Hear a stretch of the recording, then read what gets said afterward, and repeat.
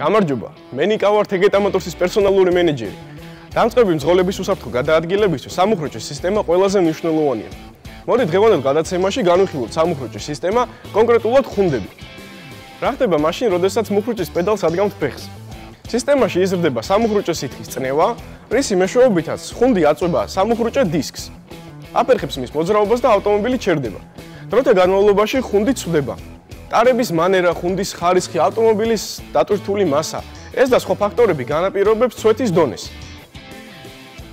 როდესაც სამუხრუჭე ხუნდის ფრიქციული მატერიალის სისქე 2 მმ-მდე შემცირდება, ეს ავტომატურად ნიშნავს იმას, რომ ის ახლით უნდა შეიცვალოს.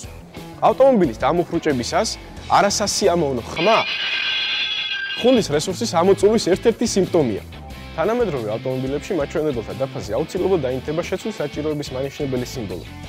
თუ დროულად არ შეცვლით გაცვეთილ სამუხრუჭე ხუნს, ფრიქციული მასის შემცირებასთან ერთად იკლებს ხუნის მდგრადობა ტემპერატურის მიმართ, რაც იმას ნიშნავს, რომ ის დაკარგავს თავის ფუნქციას და საგრძნობლად გაიზრდება სამუხრუჭე მანძილი.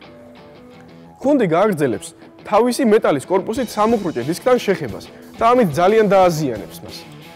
მოდი ახლა ახალი და ნახმარი ხუნდი ერთმანეთს შევადაროთ. განსხვავება ნამდვილად თვალსაჩინოა. ნახმარ ხუნს ფრიქციული მასა ზედ აღარ აქვს შერჩენილი სრულად არის გაცვეთილი და დასულია რკინის корпуსზე. წარმოიდგინეთ ეს რკინის корпуსი ეხება სამუხუჭე დისკს და ზუსტად ესაზიანებს მას. თქვენივე უსაფრთხოებისთვის მიანდეთ საქმე პროფესიონალებს. არასწორად შესრულებულმა სამუშაომ შეიძლება მწყობრიდან გამოიყვანოს მთლიანად სამუხრუჭე სისტემა, საფრთხეში ჩაგაგდოთ თქვენც და თქვენი გარშემომყოფებიც. შეამოწმეთ თითოეული ხუნდის ფრიქციული მატერიალის სისქე ყოველ 10000 კილომეტრზე და შეცვალეთ როგორც კი ის 2 მმ-ს ჩამოცდება. ახალი ხუნდებით გადაადგილებისას პირველი 200-300 კილომეტრის მანძილზე მოერიდეთ აგრესიულ სიარულს და მკვეთრ დამუხრუჭებას. დაგველოდეთ ყოველ პარასკევს და გახდით უკეთესი მძღოლი ყოველი ვიდეოს ნახვის შემდეგ.